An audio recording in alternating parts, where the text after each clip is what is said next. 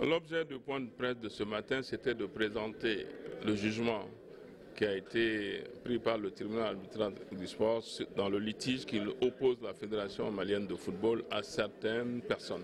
Bon, le verdict du TAS est très clair. Le TAS a clairement jugé que la requête, c'est la demande formulée par les plaignants, à savoir l'annulation de l'Assemblée générale ordinaire de la Fédération malienne de football, est irrécevable. C'est-à-dire que leur demande n'est pas fondée ni en droit ni dans les faits. Donc ça veut dire qu'ils ont clairement jugé que leur demande est irrécevable et que le tribunal a jugé, a rejeté leur demande. C'est simplement ça que nous voulons expliquer.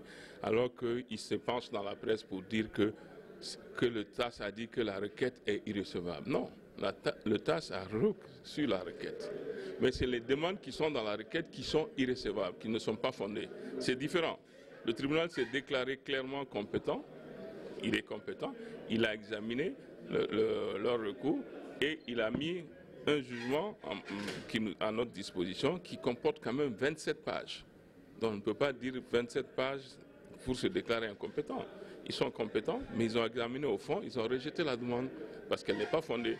Donc la Fédération malienne de football est satisfaite des décisions du tribunal.